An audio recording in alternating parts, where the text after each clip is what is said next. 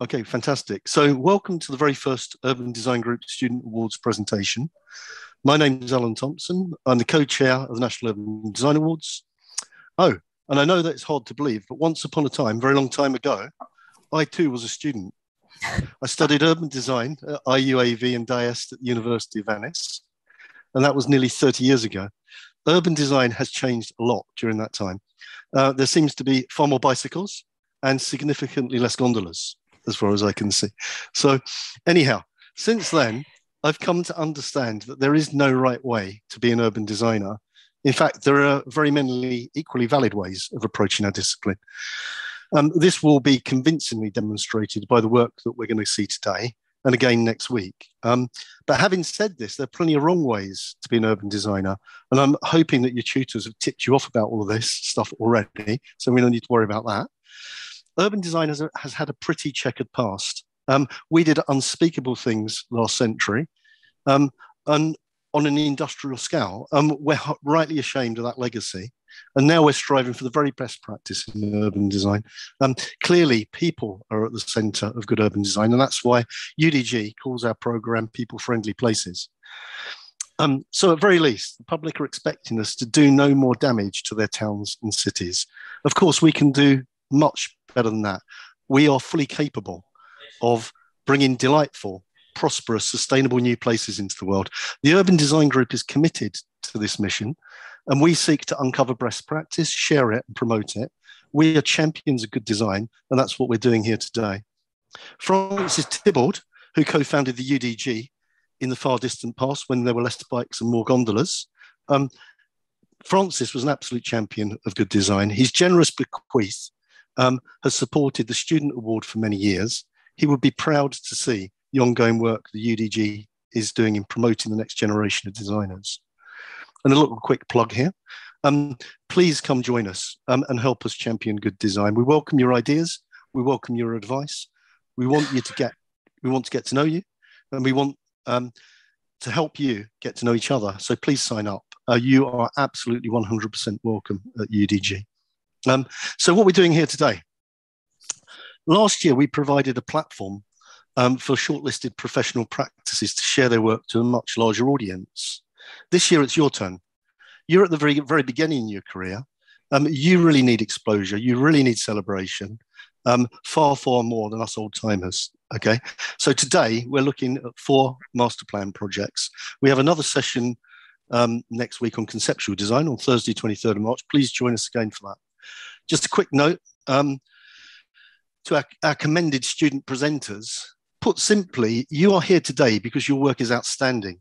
It demonstrates that a new generation can not only be fully committed to doing no harm, they can also be dedicated to producing wonderful, joyful, people friendly places. Um, I really have to say it, congratulations. We're here to celebrate you.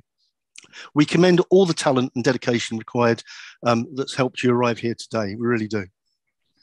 So without further ado, I'd like to introduce Joseph Plant to share his presentation. And Joseph is from Oxford Brookes University, and he's presenting a scheme called Osney Mead, Place for All. Hello, so I'm Joseph, as you know, um, a graduate of the MA in Urban Design at Oxford Brookes. Firstly, thank you for the opportunity to present. Um, this is a small master plan I produced for a three hectare site in the West End of Oxford, um, as part of a wider proposal for a selection of sites, including Oxpens and Osney Mead sites. Um, my vision for the site, A Place for All, came from a visit to the quarter following discussions with members of Oxford relating to the challenges of regenerating an active industrial area that's mostly university owned and is therefore threatened in terms of public interest with the potential to become a campus comprised only of student accommodation, labs, and enclosed public spaces with little incentive to become a destination for visitors or locals alike. These concerns are exacerbated from the site being physically detached from the city centre by train lines, the Thames, and various small streams, both causing a flood risk and causing this part of the city to slip out of collective consciousness. The site is uniquely situated both in close proximity to Westgate Shopping Centre and part of the Oxford Greenbelt, comprising a range of units mostly constructed 80 to 40 years ago, with some reflecting previous uses within the rail industry. I therefore, selected a smaller piece of our wider master plan, which demonstrated the, uh, a good test area for the vision and was chosen because it could be an ideal focal space for the wider plan with views over Castle Mill Stream toward the site of Osney Abbey, while also having suitable warehouse units which could be repurposed, reflecting the varied site history and preserving embodied carbon. Developing the vision and the brief set by Oxford and the City Council as part of my course, the layout was created with four objectives in mind. A strong identity that would reconnect the sites to its history and provide a built form that creates lasting memories, reconnecting the area to the new picture of Oxford and adding positively to the famous dreaming spires. Like any new development, a drainage strategy was a, a key part of the brief. However, in the context of the high flood risk present, my objective to respond to the changing climate evolved into providing space for nature first.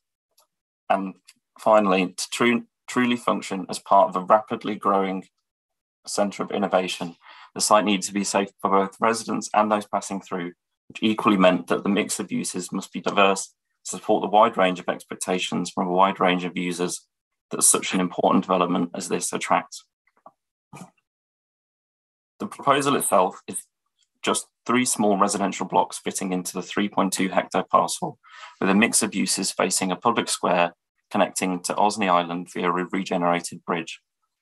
To support the objective of a diverse scheme, a high density of 60 dwelling, dwellings per hectare was proposed, utilising predominantly flats reflecting the dense city centre area type, or fitting into the rural edge by creating positive views towards Boars Hill through the use of green roofs. The addition of townhouse style units with private gardens and 15 live work units fronting the main route created a variety in the street scene, which was further achievable by reducing car infrastructure and across the proposal, narrowing streets by also utilising a number of privacy innovations, focusing on one and two bed units to best reflect demands on affordability that this part of the city currently faces. The addition of the live work units sought to activate frontages where demand could not support commercial uses across the whole scheme due to local competition, with the proposal of the shared workspaces intending to allow continued incubation of existing employers on the site. The block form was constructed first from sorry, the block form was constructed first from the movement routes incorporating where possible the existing buildings, providing a visual link to the site's heritage. The, the block form was then split into plots, which was inspired by the Victorian terraces found across Castle Mill Stream to the north. Maps, maximum height of the development is set at 18.2 metres by Carfax Tower, with the only proposed exception to this rule being the proposed landmark building at the square, which will replicate the visual cue that Osney Abbey, had it been retained, might have produced. A mix of monopitch and shared gables are used to minimize visual distinction between flats, townhouses, and coach houses, and to create increased cohesion across the site. A philosophy extended to tenure blind affordable housing at 50% of this proposal, which was also set in the local plan. Likewise, I created more personal streets by creating narrowing and overhanging facades and by partially opening out spaces previously within industrial units, which was inspired by the success of similar spaces within the Paintworks development of Bristol, which some of you may know. This variety in space created intrigue as you walked through the proposal, increasing the perceived transition between spaces. When designing the street layout, I deliberately positioned sensory elements in conjunction with the serial vision approach taken to designing the spaces. Here I combined sensory experience with a significant visual element. For example, by point one, increasing sensory planting in a more enclosed area, or towards number four, adding a unit which could be appropriate to be a coffee shop, which would then coincide with a key deflection of a vista. This all aimed to create a more memorable experience. Achieving a target density required an innovative approach to, to um, using the, the garden spaces. To do this, I used shared gardens on podiums, which would be above the service uses, as you can see here. This served a variety of functions. First, reducing parked cars' impacts on the street scene of removing cars from them, visually disguising service access, service access for commercial units when they are facing the square and on the main pedestrian route, and also creating meeting places that's restricted to residents, allowing for the development of a more cohesive community and also providing space for urban food production, which is extended in the provision of a green wall, which also serves to block overlooking into private gardens for the townhouses. My proposed flat typology, combined with live work units, allowed the uses of fronts to be considered to complement a privacy gradient while only minimally increasing circulation space proportional, proportional to the number of units and provide the desired 30% transparent frontage on the primary streets as also required in the local plan. This was also done so that I could provide a front door to each dwelling up to the third floor inclusive, which would also allow residents to take greater stewardship over pavement spaces, which was further enhanced by providing the movable planters you see here and variation in floor materials at setbacks. For the lower order streets further down the privacy gradient, I met the increased demand for a family housing demographic by using townhouses, which would have private and a combination shared garden, which in this instance featured angled front, front windows and door screens to increase the privacy given the shorter front to front distances. The central square was created at the confluence of existing pedestrian movement routes, preserving existing memory the mobility strategy focused primarily on micromobility first, which was achieved by creating areas that minimize the influence of the car within the site. The bridge to Osney Island that you see at the north is pedestrianised and would only allow access for emergency vehicles, which was supported by reducing the cars from the centre of the blocks and was possible only thanks to the local plan requiring just 0.2 parking spaces per dwelling if provided within a car share scheme. Other than that, visitor parking would be available on the outside of the blocks on the main vehicular routes. The same approach was taken to connecting movement paths, which was connecting patches of, um, sorry, the same approach to connecting movement paths was taken to connecting patches of nature which you can see here through the ecological link down the wider streets from the river edge spaces, which would also serve to flood runoff. Joseph, you have about two minutes. Thanks. Similarly, rather than create a hard landscaped edge, you've seen that I created, while avoiding the busy towpath edge, I which could support a frontage of shops, I needed to minimize the effect of the Thames flooding, so I created a biodiverse landscape habitat which should be viewed as an opportunity to increase biodiversity, public contact with nature, which could be achieved through proposed boardwalks, which could also include signs highlighting current issues with pollution, which prohibit wild swimming at this and other locations across the city. I took a 330 300 approach to creating green, spe- green spaces as a response to the issue within Oxford that despite it having one of the highest green coverage rates of any UK city centre, a vast majority of this is contained with the existing quads or private gardens, which therefore creates a payment barrier for non-students to access green spaces within walking distance of many of the employment centres, which demonstrates, again, the need for me to develop this site for all. This approach meant that three trees would be visible from all front doors, 30% of the site would be green, and nowhere would be more than 300 metres from the green space, which, as I mentioned, was contained um, within that main square. This combined with the proposed sustainable urban drainage system, which included green roofs, would also meet the objective in the brief to greatly regreen the long distance views across to the city centre, replacing the existing industrial site. As developments are increasingly considering the benefits to mental and physical health after heightened awareness during the pandemic, my hope was that this vision of replacing car dominated streets with nature centered and connected spaces to create destinations which form long lasting positive memories could be extended to the rest of the redevelopment of the West End of Oxford. Once again, thank you for the opportunity to present this proposal. Um, I hope it was interesting considering some of the um, methods I've used to meet the objectives. Thank you. Any questions? Thanks, Joseph. Saaransh, could you try to yeah. load yeah, up? And while you are, I'm going to introduce you. You're Saaransh. Um, forgive me if you, I don't get your name fully correct. Kulshrestha? Is that? Yeah, is that that's Saaransh. Yes. Okay, tremendous. Um, and you're from the University of Dundee, and your scheme is revitalising a diminishing town. So, um, which is actually a very different approach. As I said in the beginning, it's, it's so interesting to see the way in which individual students are approaching these projects so differently, and the schools are approaching them too. And it's fully, fully acceptable and legitimate to do that. It's um, it's the kind of profession that we are. Um, okay. Yeah. I'll now yeah. share my screen then. Yeah, yeah, please do. Yeah, yes, tremendous. Do. Thank you. Yeah. I hope you can see my presentation. Yep. Yes. Go ahead. Hi. Yes. Hello, everyone. My name is Saaransh Kulshrestha, and my I uh, my I, am a student of MSc Spatial Planning with Sustainable Urban Design at University of Dundee.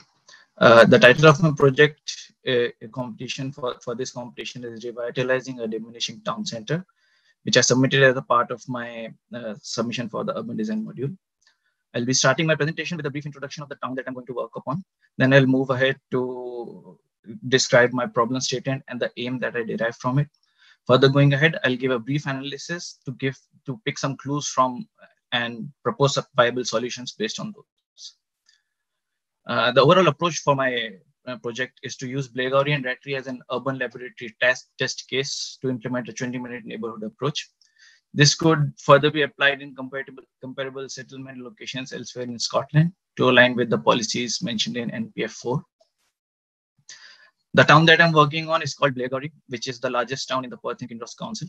It falls in an economically fragile zone, and thus it has been identified as a priority for action uh, by the council. The first map on the left shows the boundaries of the Perth and Kinross Council, and the town lies on the eastern edge of it.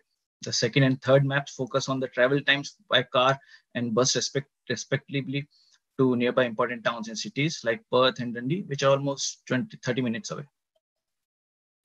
Looking at the actual boundaries of the Blairgowrie and Rattray town, we have this map telling us how these two towns are located uh, next to each other and connected by an, a single bridge, which in turn connects their economies and, uh, two. Major highways like A93, A923, and A926 run through these towns, linking them to Perth, Dundee, Coupar, Angus, respectively. Our focus for the context of this presentation will be on Blairgowrie, which has been identified by the BRDT as a historic market town, with tourism being its main economic lifeline, where long riverside walks, salmon trout fishing are some of the main economic and one of the many attractions, few of the many attractions. It is also referred as a soft food, food capital of uh, Scotland because of the local berry production that happens here. As of now, Blairgowrie has become majorly a commuter town and a part employment destinations with more workers commuting out of Blairgowrie, mainly to Dundee and Perth, than to it for work. Now, this brings me to my problem statement, which is how can a place with so much natural beauty around it, with so much culture and heritage engraved into it, housing a variety of businesses like retail, leisure, financial, and services symbolized by different colors on the map, with almost 43% of commuters, consumer spending going towards social dining and local food and beverages industry. Along with a good concentration of popular tourist attractions that bring a large number of users from different age groups to this area and after being even identified under a historical conservation area by the Perth and Kinross Council, we still be the most deprived town as per the SIMD data.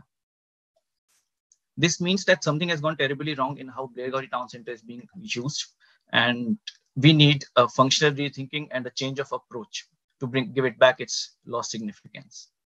So this gives me enough base to establish an aim, which is to revitalize Blairgowrie's town center by carefully crafting its streets and public realm into a multifunctional pedestrian precinct in order to preserve its economic significance, cultural identity, and historical character.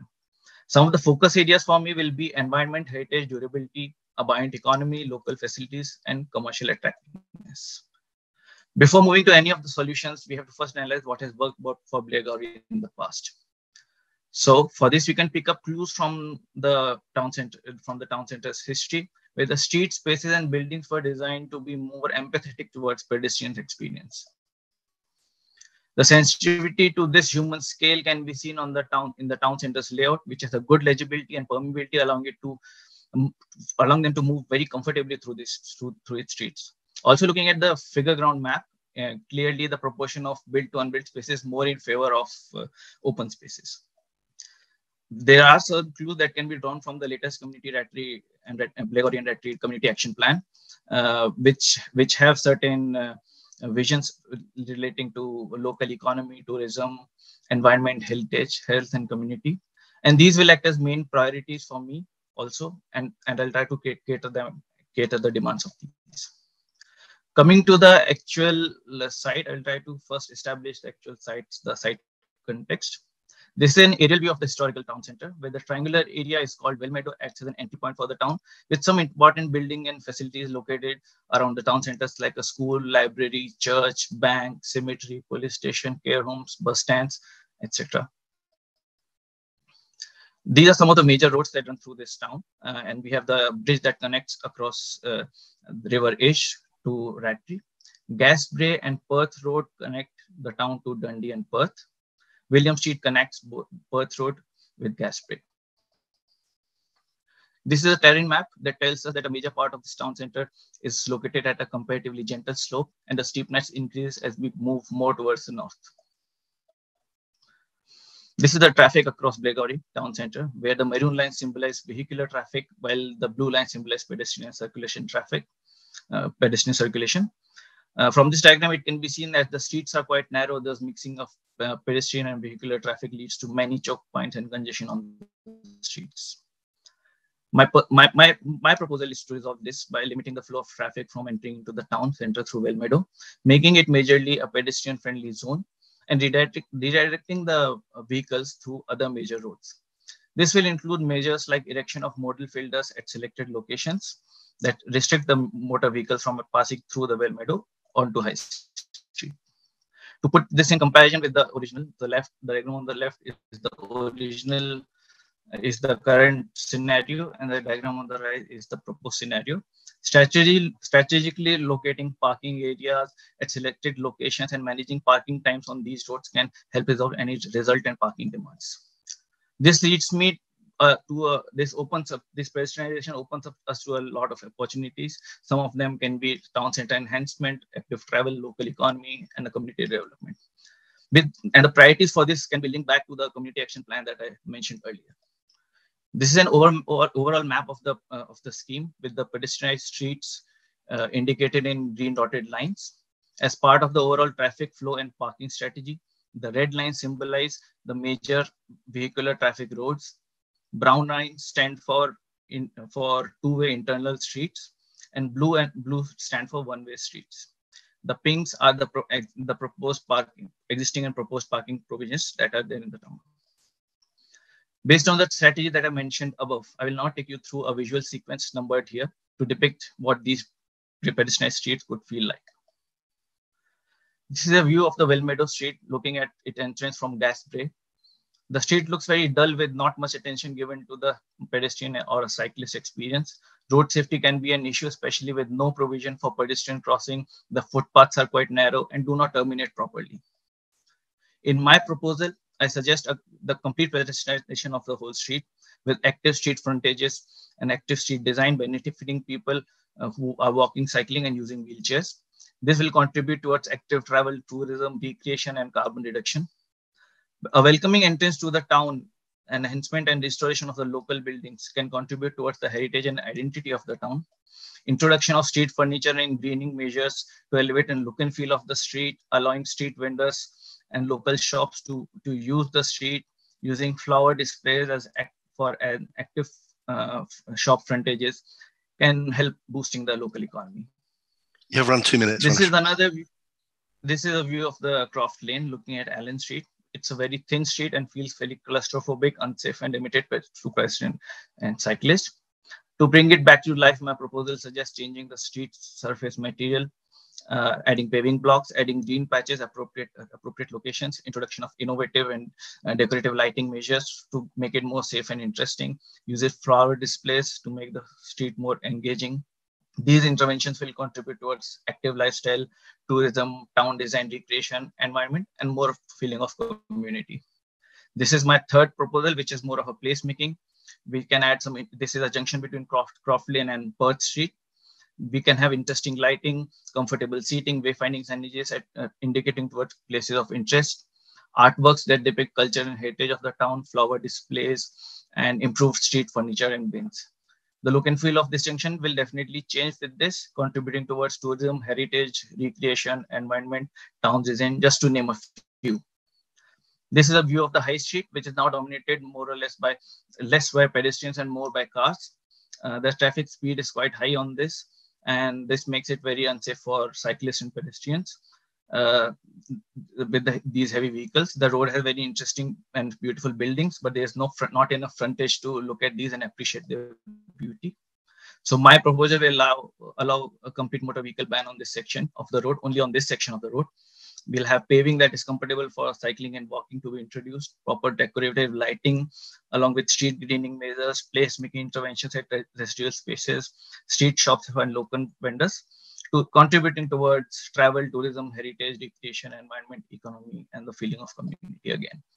This brings me to my last view, which is that of Kirk, Kirkmine. This leads us all the way to the north, where we connect with the primary school or a care home despite having these facilities, there's not, not even a single provision of pedestrianization for of footpath here, making it very unsafe for, uh, for users, uh, cyclists and pedestrians both. The road is at a very steep slope, but uh, so the, but does offer a very good views.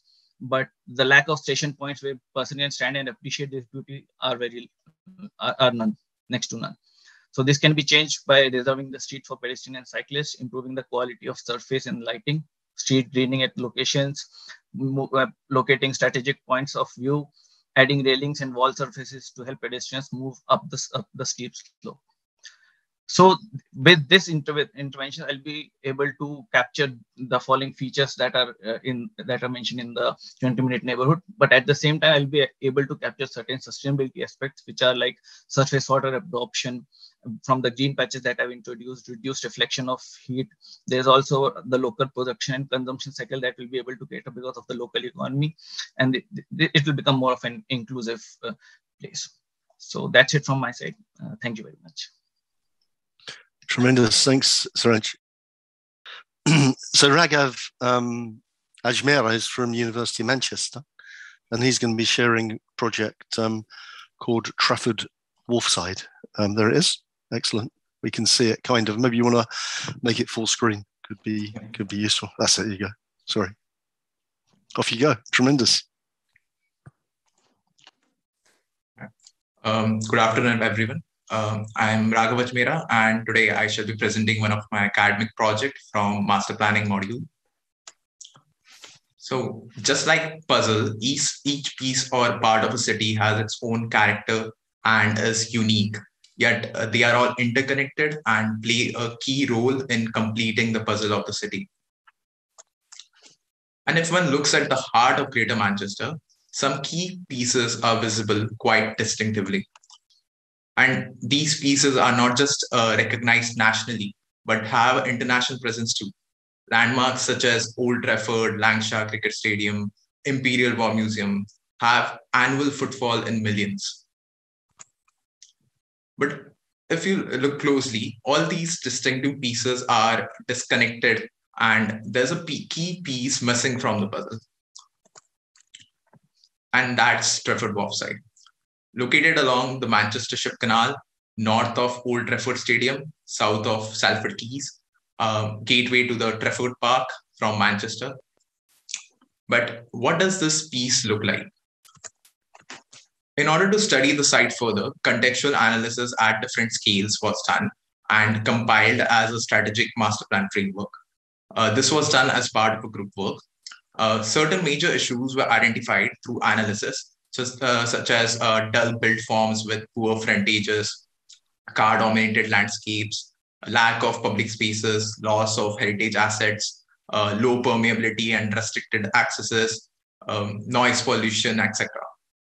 And all these blight the site, creating harsh edge conditions and undermine the human experience. The site has some key potentials to offer too. It has unparalleled views of Old Trafford, despite uh, the visual landscape being overpowered by wide, busy road. And on the opposite side, it offers key views of canal and uh, in future it shall uh, offer views to the proposed developments along the quays. But overall, the tram line and the canal itself acts as a major barrier to movement, uh, to the north-south movement. The mass day transforms the landscape of the wharf side completely with huge amount of crowd movement from car parks and tram stop uh, several informal kiosks and stalls pop up on the footpaths to serve the crowd. Uh, also, the route from tram stop to Trafford Civic Quarter has been considered by local policymakers as a key movement corridor where sustainable modes should be encouraged. So, how do we fit, fit these pieces to complete the uh, puzzle of Greater Manchester? Currently, the site is dominated by warehouses, office blocks, and surface car parks. But there are some existing structures, such as Victoria Warehouse, which are not grade listed, but are of heritage value as they represent uh, the rich industrial history of Wharfside and add a distinctive character to it. The pedestrian experience and safety along high activity areas uh, should be improved along with the development of new pedestrian bridge to improve connectivity and make the canal no longer as a barrier. New commercial and residential districts would uh, integrate the character of surrounding and upcoming neighborhoods. A public park would deliver area scale green infrastructure, which would be integrated with the existing network. These new districts would be facilitated by public spaces of different hierarchies and interconnected by pedestrian networks uh, and overlooked by terraces and active frontages. And these spaces would preserve and further enhance the key views of the surrounding context. And introducing landmark structures at key points would create uh, strategic gateways and improve uh, the legibility further. The proposed master plan is an amalgamation of all these ideas and is contextually driven through analysis and policies of the local planning documents. A new residential community would act as a catalyst for future residential developments in the surrounding context. It would be served by a new primary school, local GP, allotment land, and community center. Other than that, there shall be a multi-level car park in the commercial district towards the extreme west of the site, uh, dedicated for the stadium and the war museum. The pedestrian routes through the site increase the walkability and act as a part of the green infrastructure network. The existing bus stops and metro stations have, have also been integrated in the design.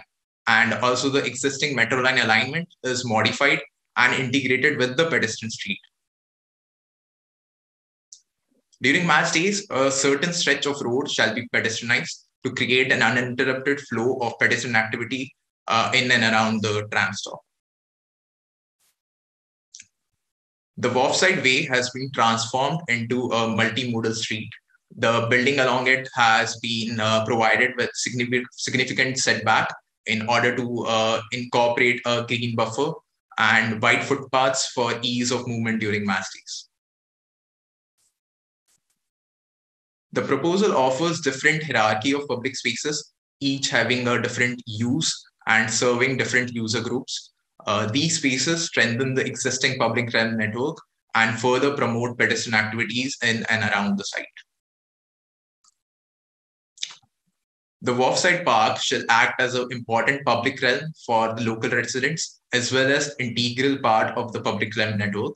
Uh, it shall compensate for the lack of green infrastructure in the 15 minute walk of the site and would provide spaces for people of all ages.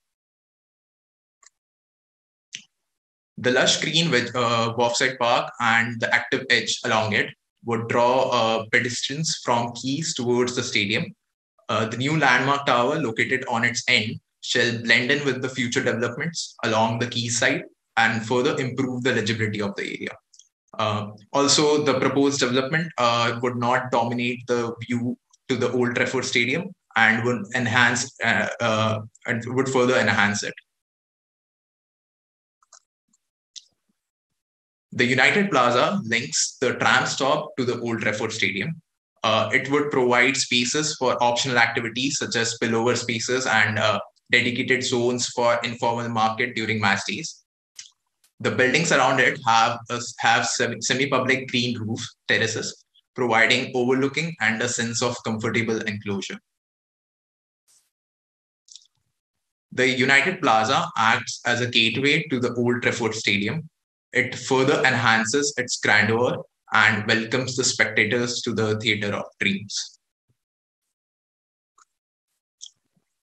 The proposal acts as an extension of the surrounding character areas and respects uh, their architecture distinctiveness and features. Uh, the high density commercial district in the west blends with the existing nature of the Trafford Park paving way for future developments uh, and around the site. Similarly, the Wharfside Park acts as an extension of the public realm and retail character of the Salford Quays. The leisure district uh, respects the heritage architectural style of existing structures and serves the tourist activities of the surrounding context. Gives you two minutes. Yeah. So to conclude, the proposed development on Trafford Wharfside uh, would be rooted in its area's context and driven by a sense of future. It would capitalize on its location and heritage assets, uh, improve the landscape character, uh, establish strategic gateway, and enhance the match day experience through use of different urban design elements. And hence, it shall complete the puzzle of Greater Manchester. Thank you if you could um, stop sharing your screen and then we can ask um, Liao Wenhan. That's it. Yeah, looks good. Okay. Hello, I'm Wen Liao. I'm very glad here to give this presentation. My topic is healthy neighborhood. Firstly, I'd like to give you a brief introduction of the site. The site is located near the Manchester City Centre within five minutes walk to the Piccadilly station, which provides a convenient connection to regional areas, but also contributes international travel to London. Once the HS2 is completed, the site will benefit from it as well. The site has a strategic link to some key destinations in Manchester, such as the Town Hall, Arndale Centre, and Piccadilly Station, which are all the factors that should not be ignored. Historical analysis is a key step in helping me understanding the growth and evolution of the site, figure out the history of building, uh, sorry, figure out the history of building within the site and know about the residents' sense of identity, I found that the site once was used for industries and workers living. Uh, with the construction of Birmingham-London railway line, the site crossed in the middle by a viaduct. In the 1980s, the site changed dramatically due to the construction of a motorway, Mancunian Way to the south of the site, and the construction of new street and new building uh, the most important and impressive historical building and structure is the Sackville Street building. GI and public realm are the factors that affect health. I analyzed the GI and public realm around the site and found that there are many GI adjacent to the site and some protectional public realms to the west and east. From the development policy, we can see that there are three surrounding areas that already planted. The Circle Square to the west and the Mayfield and HS2 Manchester Piccadilly to the east. These development policies are important factors in my design consideration. Uh, from the connectivity and site analysis, I found that the site is the key path to connect the Oxford Road area to the city centre and the future development area to the east and west. Though the site is uh, well connected by vehicles and public transport, the road within the site is short, not clear, poor in legibility, and not well connected. Uh, several busy roads impede people from Oxford Road and Mayfield. Poor legibility, low quality mills and buildings, pollution of noise, lack of active frontage, and walkable roads are all the problems in the site. So to create a healthy neighborhood, I took several actions. This is my design layer. First, for connectivity, I designed four new east-west streets to enhance the site's connectivity uh, to connect the Circle Square and Mayfield. The first street is this, this street. This street is Sackville Shared Street, which provides easier access to Vimto Park and attracts travelers from Piccadilly Station. Um, it's a green shared street with dedicated cycle line ways, uh, which encourage low carbon travel. The second street is this street, Rail, uh, Railway High Street, where I activate the street with railway arches and uh, the second floor retail. This is a green pedestrian road where events happen. This street also linked to the potential public realm to attract footfalls from Circle Square to uh, Mayfield area. The third street is actually a service street, which provides better access to the site for service vehicles while relieving traffic pressure in the east-west direction. The last one is also a shared street that many use for students, pedestrians, and enhancing the connection between uh, the western and the eastern area. Secondly, um, for the GI and public realm, most of the GI and public realm on the site are transformed from the original uh, foundation of the site. The first one is North Gateway. North Gateway, I, I create a legible gateway to connect to the city center. I use the ground floor of the Sackville Street building to create a, an active frontage to attract footfalls. Next one is Vimto Park. I removed the car park here and enlarged the original park, enhancing its accessibility and interactivity. I also place interactive facility for users uh, for use by different groups of people, provides plots of land for people to move around and improve biodiversity. Bicycle lines are provided to the north and the south of the park. Then, uh, if you walk down the street, uh, you will arrive Century Plaza. It's a large hard square with interactive fountain uh, with interactive fountain and active frontage aside. This is also a key pedestrian node in the site, a place for people socialize, shopping, walking, and passing. I have utilized the railway arches to increase permeability and arrange night lights on the railway arches to activate the area at night.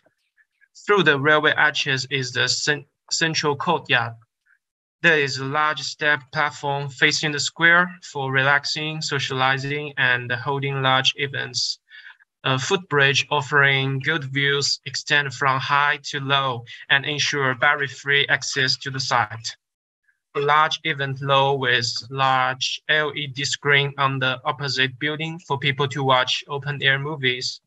Active frontage on both sides for shopping, dinnering, and coffee I create a space for children to climb on with the pedestrian, pedestrian bridge base.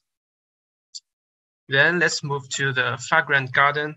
This is a, a quieter park with good connectivity and continuity with central courtyard. An accessible park full of multicolored flowers where the soul can be healed by the flowers. Tall trees and buildings can provide a good sense of enclosure. Then green space under the viaduct. I have retained the high quality greenway under the original viaduct of the site. I also create small alternative path under the viaduct to reach the different building in the south. Uh, this is a cell region for the traveling this public realm from North Gateway to Frag Fragment Garden. Uh, thirdly, uh, for historic building, Sackville Street building is the key one. I have returned this listed building as a hotel lit building. It acts as a high rising building to be a landmark and attracting footfalls. It is also a good place to live and enjoy the key view of the Winton Park for visitors. It contributes to the character and the citizens' sense of place. Uh, another two listed building is Oriental House and the Granby House. Uh, since they are in good condition and the northern part of the site is mainly used for residential, so I kept them. However, I have some, I have demolished the Hollywood wall as it was not conductive to connection and poor contribution to the townscape. I also adopt a number of design strategies such as land use, sustainability, um, green building design and safety design to make this place a healthy community. You can see them in my design details. Now you have two minutes. This is the Central Plaza. Central Courtyard. Children can climb the wall here, and there is a large green lawn. The footbridge the railway high street with active frontage, central courtyard, the view from the train. That's all. Thank you. Tremendous, fabulous presentation. Thank you so much.